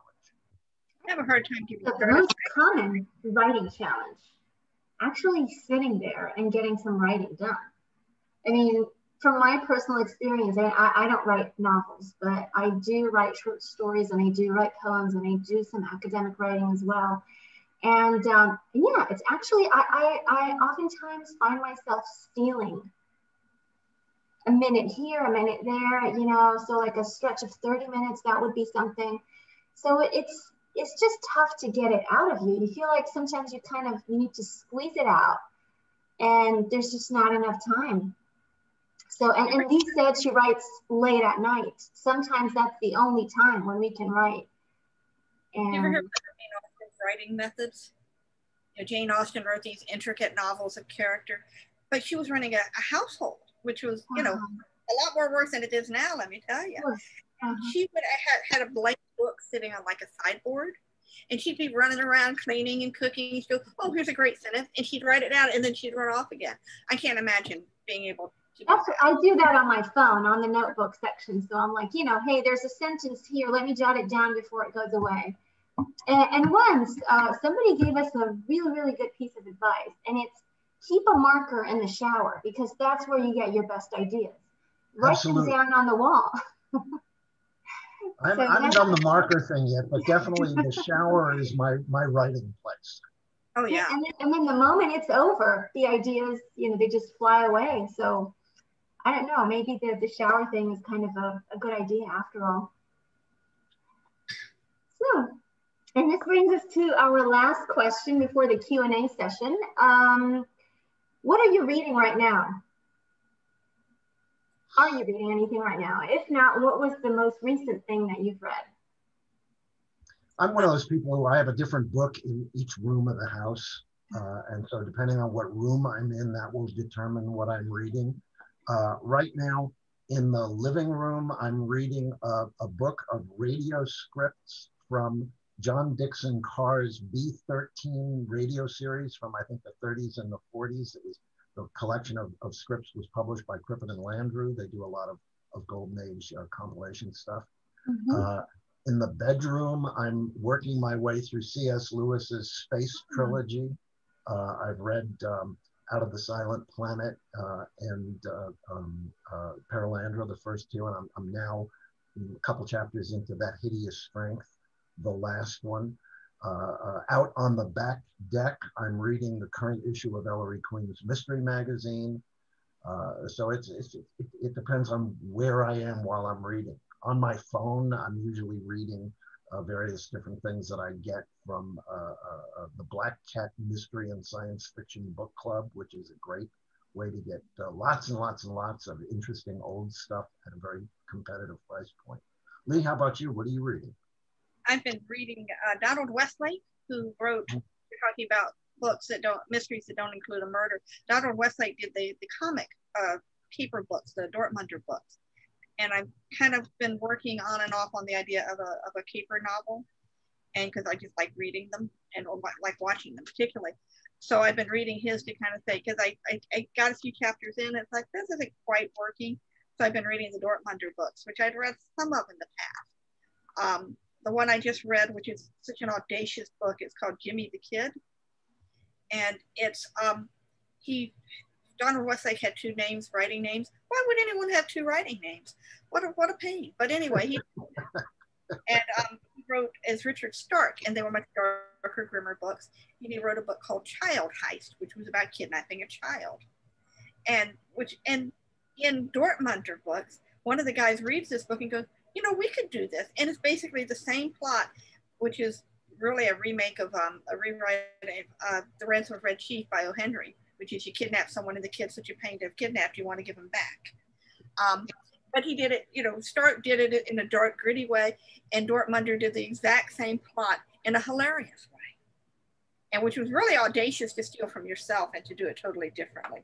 And, and just kind of how to put a, put a heist together. And also they're just fun to read. So I'm probably going to work on some more Dortmund. I just finished Jimmy the Kid last night.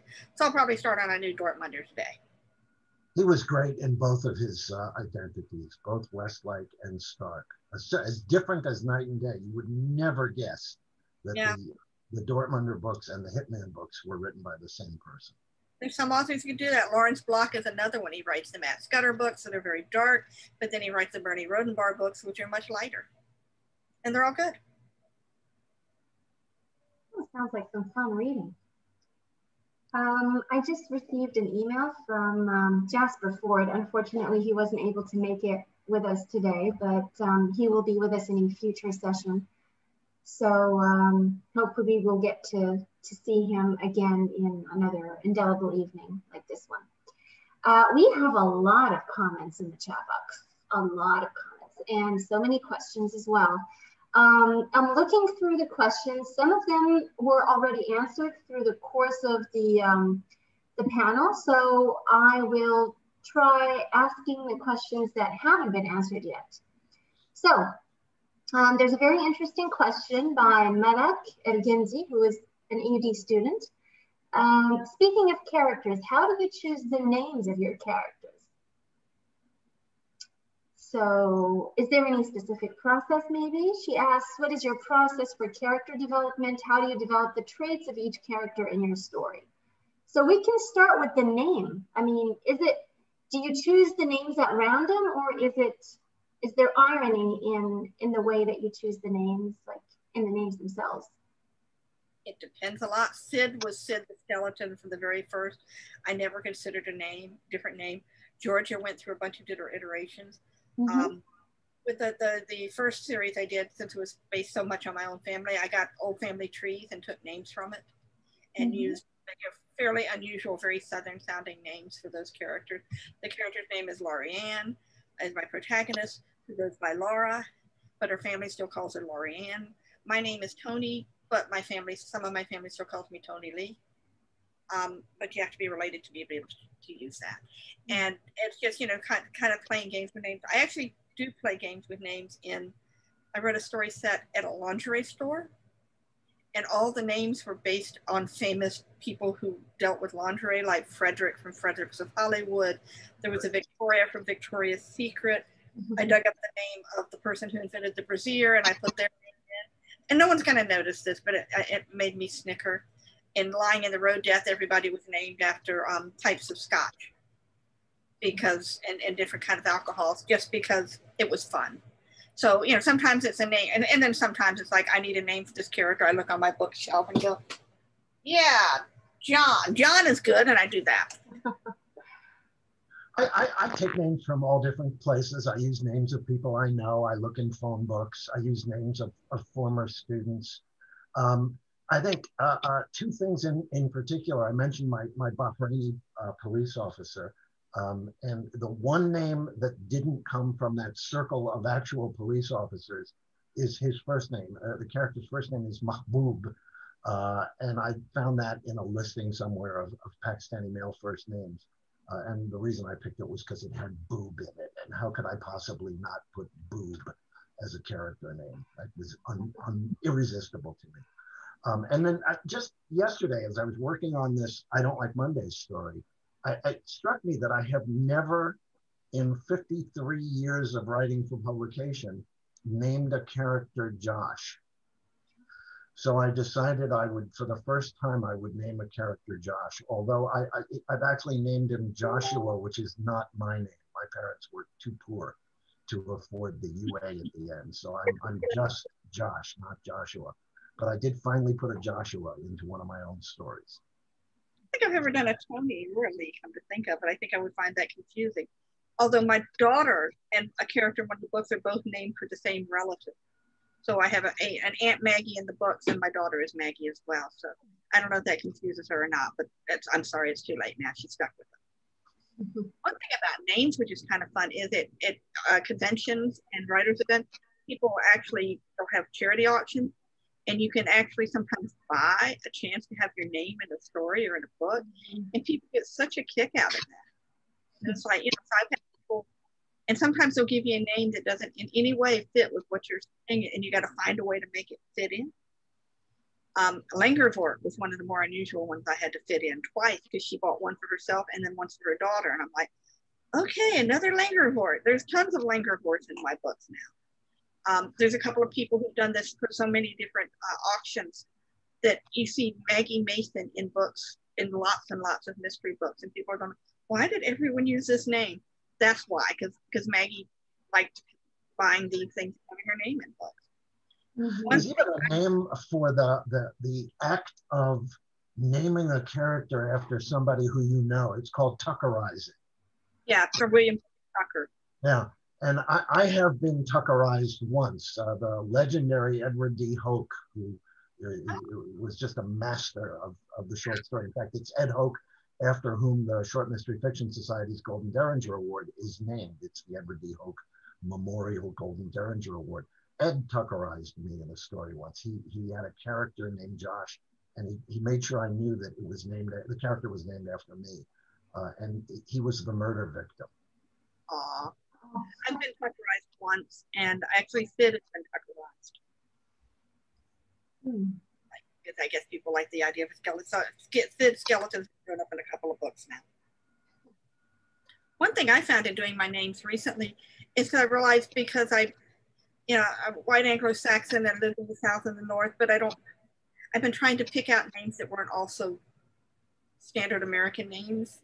Because, you know, we're a country of immigrants. I should be using I'm setting something in Massachusetts, there should be some Haitian names, some Portuguese names, some Haitian, uh, Vietnamese names, not just Irish and Italian. So I've been working on that a lot more lately. Yeah. Names are quite interesting in stories because we always wonder as readers, where did that name come from? Like, could it mean something? Is there any hidden, I don't know, allusion to it? Yeah, name symbolism can be interesting. I did a story back in the 80s. Um, uh, the story is called Busman's Holiday. And for anybody who's not familiar with the expression, a busman's holiday is when you do with your downtime what you do with your uptime, with your professional time. So if the bus driver, for example, were to take a vacation on a Greyhound bus around the country, that would be a busman's holiday. Mm-hmm. So I wrote a story called Busman's Holiday in which the main character does uh, on his off time what he does professionally. Uh, and I named the character Busman. Uh, um, so this the title works on several different levels. It is about a busman's holiday, but it's also about Mr. Busman's holiday. And, and as it turns out in the story, what Mr. Busman does professionally is he's a hitman. And on his vacation, he commits a murder for which he doesn't get paid just because he wants to. Everyone's got Can I ask something or comment? Go ahead. This is Dr. Omar Sabah. Also Hello. Hi Leigh, hi Josh. That was really, really interesting, fascinating stuff. I wanted to say, just mention, like, can I make a comment from my own reading and see what you say to it? Um, Leigh, you mentioned something about bringing law and order to the world with with fiction, and, and I think a common theme for both of you has been escapism or the, the level of realism and so on. And um, I, I, mean, I, am not a big genre reader, but I, but I am more interested in the in the, the the, the concept of mystery and crime, and how um, you know how implotted it is. It, it, it isn't. I mean, E.M. Forster once wrote that a story is the king married the queen, and a, and a plot is the king married the queen because she's beautiful, right? And so I think mystery and crime stories tend to be more like the second type. There's always a closing rationale or kind of solution, right? And um, I'm actually very interested in G.K. Chesterton. I don't know if you guys uh, read or know of him. Um, you know, he's a great writer in, in his mystery stories, but not Father great in his novel. Sorry? Father, Father Brown. Brown. yes, exactly, yeah. And what I find about Chesterton, because I'm, I'm a bit of an aficionado, and I found it common with a lot of writers slash readers of mystery and crime, is that they have a very rationalistic or mathematical mindset that suits them to write that kind of story, right? And um, you know, you can see it in the way the characters are done. They're always like thumbnail essences of a character. They're not like their typical psychological realists, kind of from the bottom upwards. They're more from the top downwards because they have that kind of slightly unrealistic but still thrilling, um, you know, um, black and whiteness, as it were. And when you guys write, I mean, I'm sorry, I haven't read any of your books, but I'm just curious. How do you think of your your fiction from a, that from that kind of generic point of view? I mean, do you find it uh, are you trying to be realistic psychologically, or are you just trying to look for a great yarn that people that people will take people away with, you know, away from their world? You know, um, yeah. Uh, I, think, I think what you're talking about there is really the distinction between what's typically thought of as the British approach to crime fiction versus the American approach to crime fiction. Okay. Where the British approach is more intellectual, it's more about the puzzle. Um, right. Where the American approach is more about the emotions, more about the motivations. I um, see. Okay. And I've I've done both. Uh, I've done the the traditional classical who done it, but I've also done the psychological uh, approach. And I think that frankly, uh, uh, I like the what we tend to refer to as the American approach better because it's more real. Um, you know, the, the who done it in, in, in the real world don't happen. At least they don't happen with anything like the regularity that they happen in Cabot Cove, which is where Jessica Fletcher lived. Um, right. Well, that's interesting because I mean, as I say, I'm, I'm, I'm, I haven't read much in this genre, but I mean, Chesterton is like and Poe are like my kind of two, two kind of classical examples. But I, I mean, well, who would you recommend apart from yourselves? Can I ask? To read to get a kind of a good flavor, not necessarily contemporary, maybe even the last 50 years, to get a kind of good flavor for how what you're talking about, the American kind of approach to to this kind of genre. I mean, two or three names would be nice. Um, well, apart from yourself Leigh mentioned Lawrence Block. Right. Uh, okay. I mentioned Ed McBain. I would say read Lawrence Block, read Ed McBain. If you want something real contemporary, read uh, uh, Shawn Cosby, who's relatively new. He's only got two books out. I think maybe three. The third one's coming out. Um, they're, by, they're, published by S.A. Cosby. Crosby, Cosby, or whichever. okay. Cosby, like you know, Bill. guy. Yeah. Yeah. Okay. I think actually, you know, Josh is making it uh, American versus British. I think it's actually a time-based thing. I think British mysteries now. I mean, if you look at Morris and other characters, they're not as is quite as um, puzzly as they used to be either. I think that was just the fashion back then to do puzzlier, more puzzles than it is now.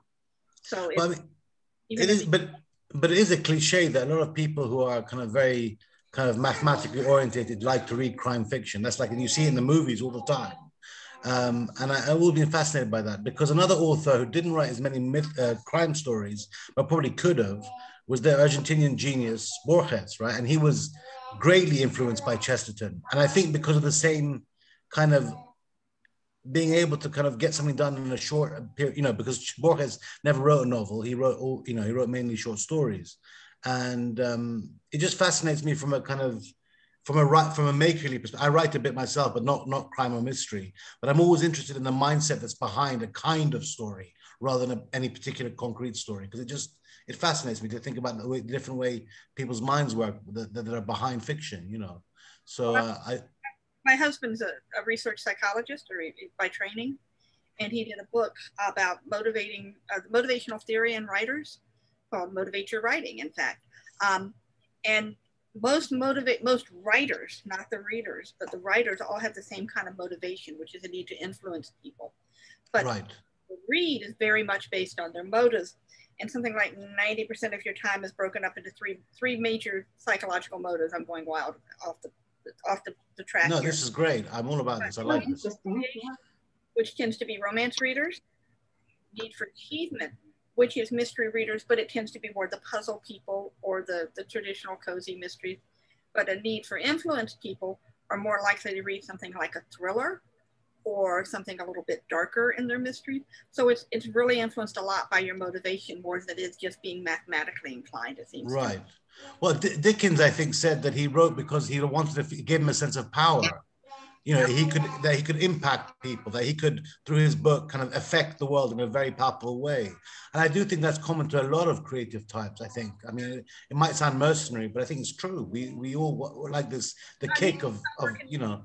But, but when you talk about a need to, for influence on people you may be talking a writer because you'll buy my books but you may be write a fan fiction writer who doesn't sell their books at all just as you know in in the real world and politics. Mother teresa had a huge a need for influence but he wasn't it was a different kind of influence right i see yeah well, I think we probably have quite a few other questions in the chat as well. Maybe we can get to some. Sorry, sorry, sorry, sorry. Uh, we have we have a couple of comments also. Um, the three B's of creativity: bed, bath, and bus. This is by Steve Kelner. Thank you, Steve. Um, we have a, um, right, we have a question here by Jay Kinney, uh, a question for Josh. Um, Jay asks, I'm curious about writing a short story based on a song. Is your approach to write a story that reflects the lyrics and assume your readers get the connection or something else? Well, I've done um, three now of these inspired by anthologies, uh, crime fiction inspired. And when I say I've done, I mean I've edited. And I wrote one of the story. I wrote the title story for each book. Um, so crime fiction inspired by the songs of Joni Mitchell, Billy Joel, and Jimmy Buffett. And in each case, what I've told the contributors uh, is take the, the song as a jumping off point. Don't quote lyrics from the song because that's going to run into copyright issues. Uh, but I've invited and encouraged people to, uh, uh, oh, and the other don't is don't just retell the story of the song. Uh, people can just go and listen to the song if that's the story they're going to be exposed to.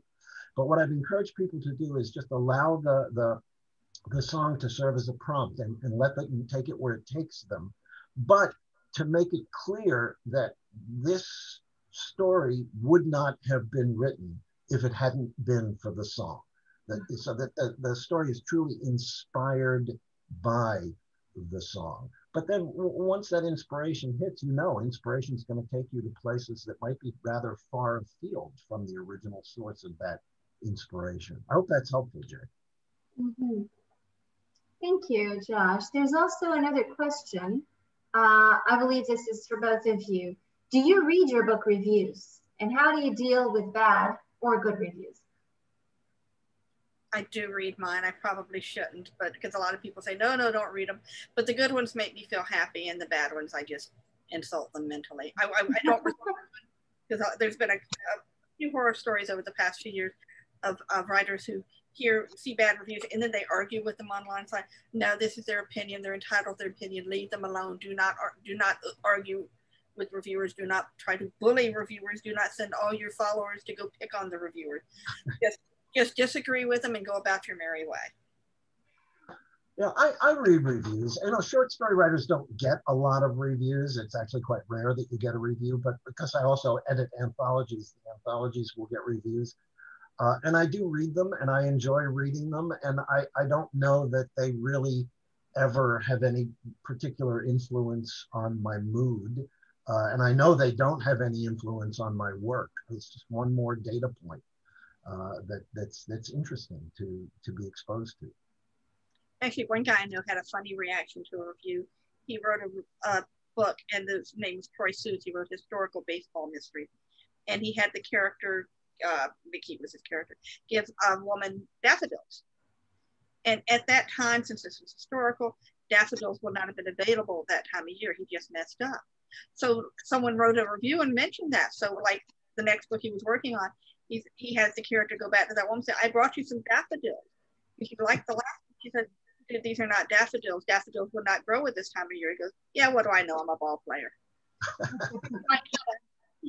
I, have to I have to tell you a story about a, a good friend of mine, uh, Les Roberts, who lives in Cleveland, Ohio, and who uh, has written 30 some novels about a Cleveland private eye named Milan Jacovich. And uh, uh, in one of his books, uh, Les has Milan trail uh, a suspect to a Monday evening performance of the Cleveland Symphony. And he got, according to Les, hundreds of letters from Clevelanders pointing out that the Cleveland Symphony does not perform on Mondays. Now, somebody read, hundreds of people read a 300 page novel, and that's what they took away from it that the, the symphony was performing on the wrong night. And Les had printed up a form response that he mailed back to every one of these people. And his form response was the Cleveland Symphony might not play on Monday nights, but my Cleveland Symphony plays whenever the hell I tell them to.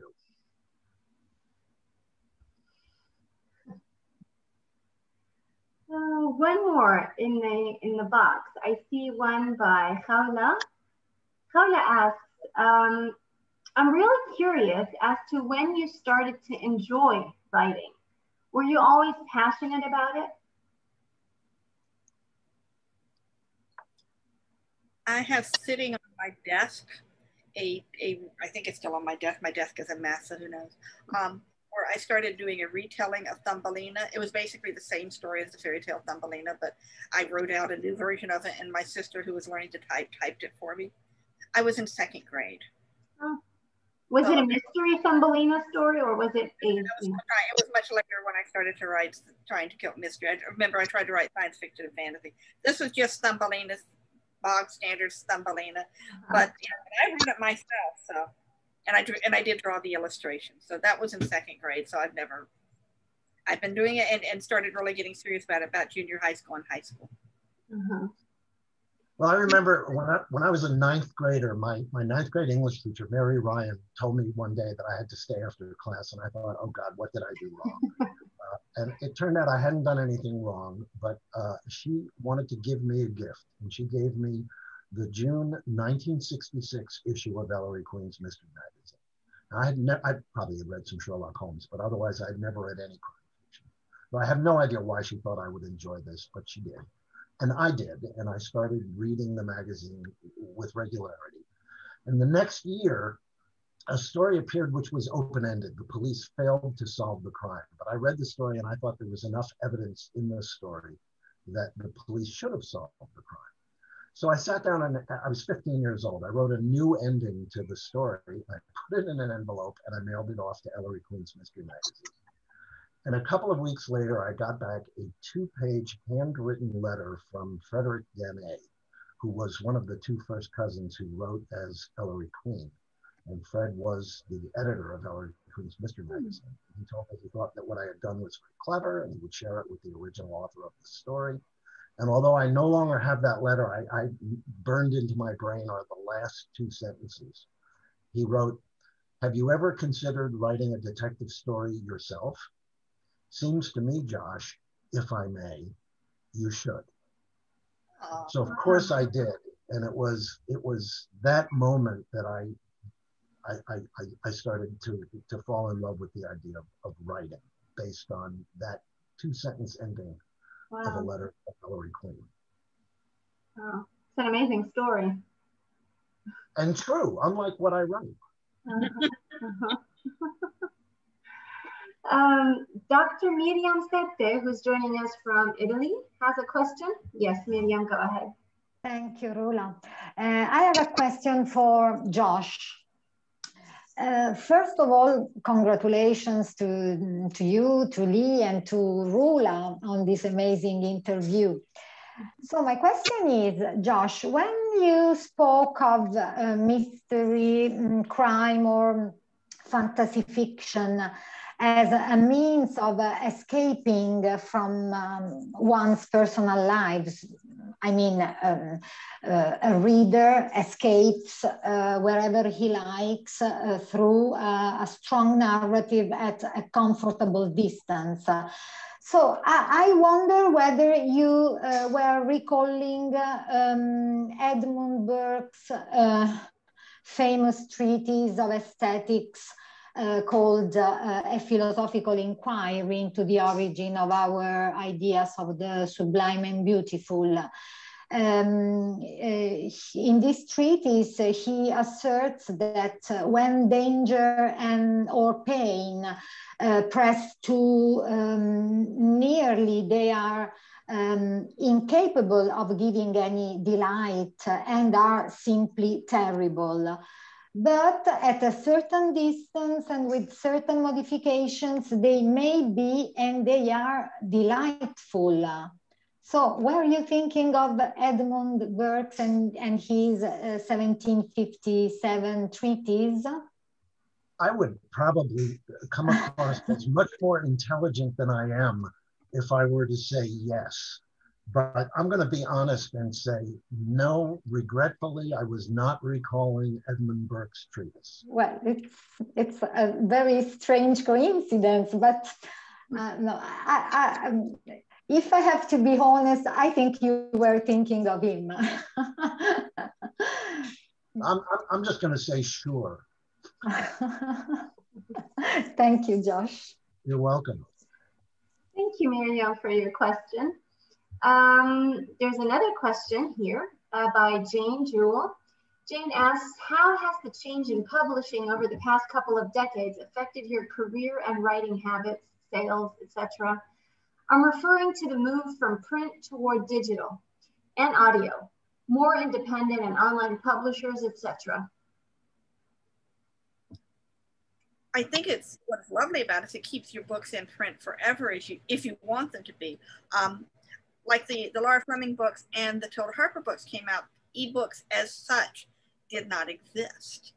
So when I got, but you know the books have been out of print and paper for years now. Um, but so my agency and I got the rights back, and we now have published audio, uh, published digital editions. So they're still available, even though these books were meant. The first book came out in '93, but they're still available for people, and I can still get readers, and I can and, and still make sales, which is nice too.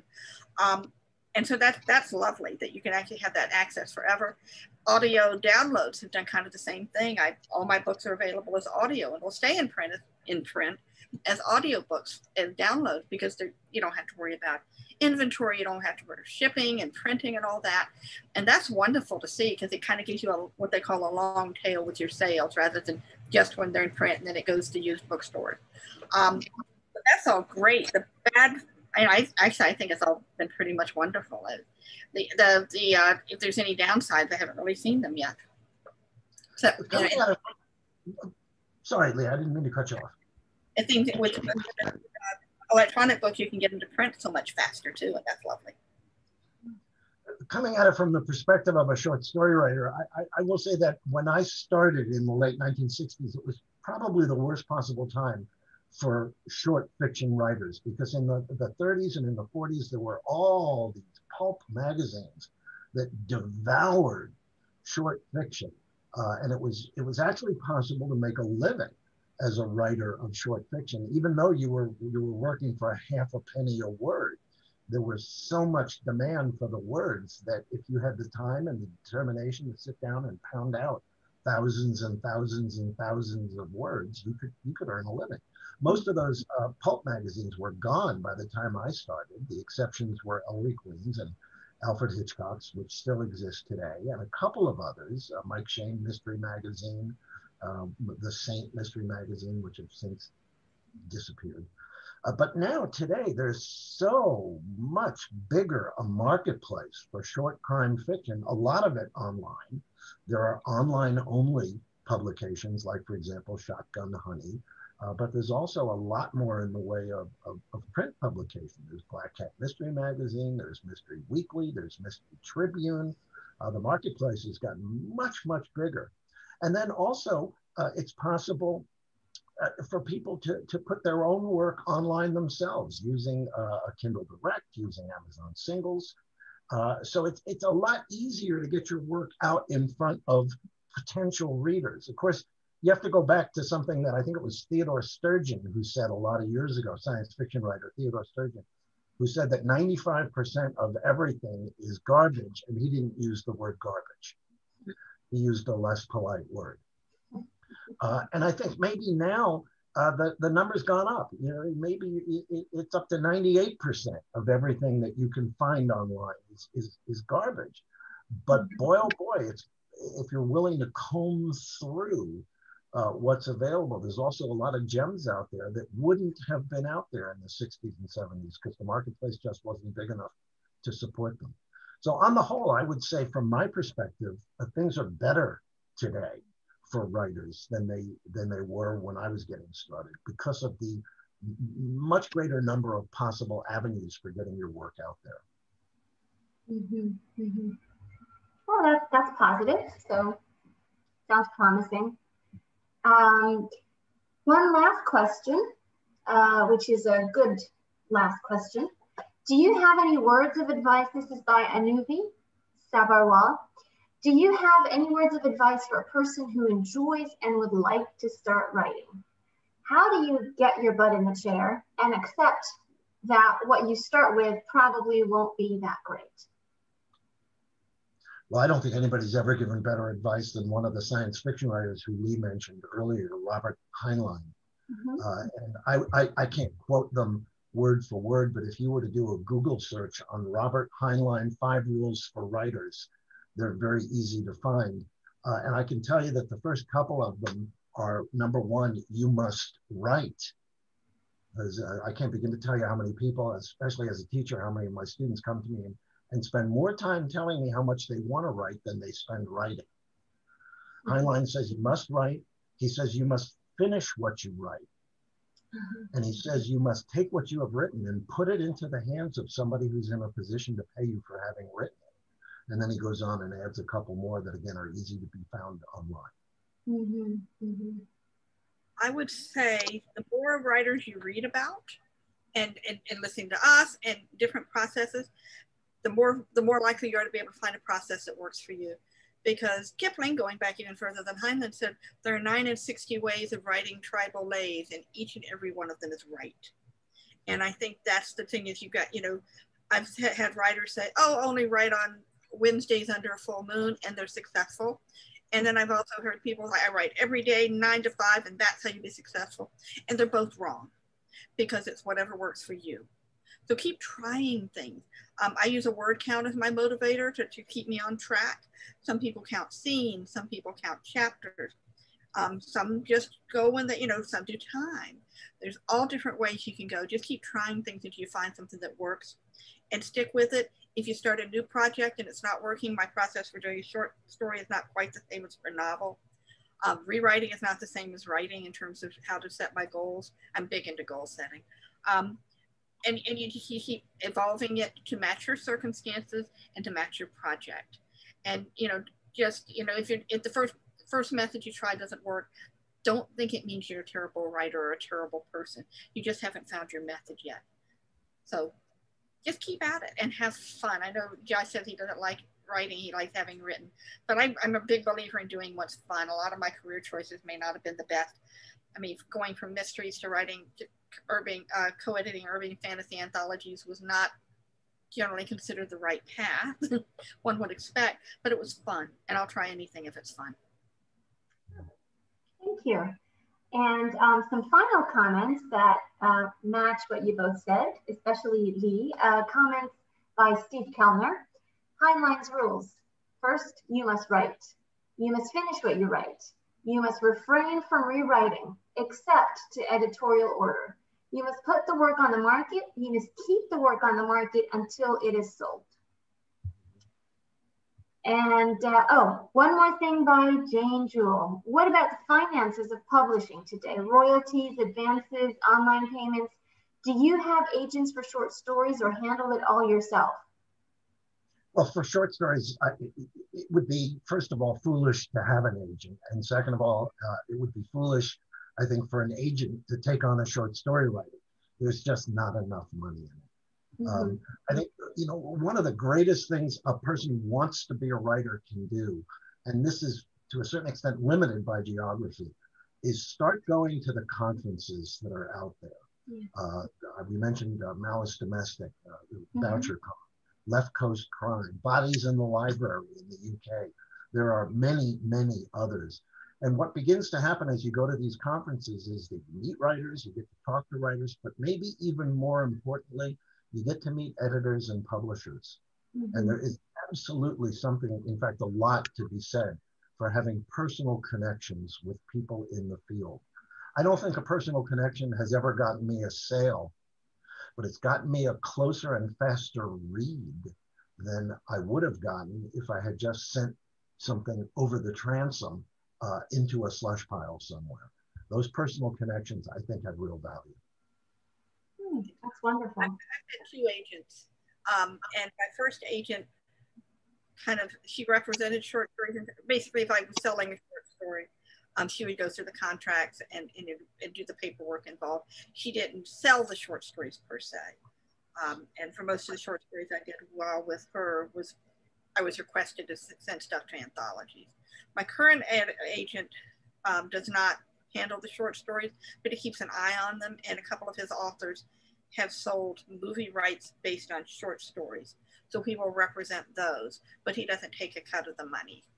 So it just, it kind of depends. I, I agree, you really don't need a, an agent for a short story writer. But if you've got an agent, how they handle things, handle your short stories will depend on the agent. Mm-hmm, mm-hmm. Well, I would like to thank you both so much. This was such a fun and fascinating session. Thank you so much for all the, you know, for sharing your experiences with us and for the insightful advice that you gave everyone. Um, we certainly hope to see you again in some future indelible events. Um, and, um, you know, you've got fans in the audience, you've got people who want to know more about your work. So uh, I will also be sharing your websites on social media. So there's an indelible page on Facebook. There's also an indelible page on Twitter and on Instagram. So uh, please follow us so that you could get more information about the writers that we host. And um, again, we look forward to seeing you again. Thank you so much, Leigh and Josh, for this wonderful, wonderful session. And I also want to thank the audience for being here. Uh, there are so many comments and questions, but again, uh, you could also uh, contact and connect with the writers on social media as well, and you could take the, the discussion over there. So um, everybody have a great, well, I can't say everybody have a great evening because um, for Josh and Leigh, I hope you have a wonderful day since it's early Sunday where you are. And um, for the rest of you, have a great evening. So see you again very soon. Bye. Thank Bye. Thank, Thank you all. Thank you. Bye. And bye, Jasper.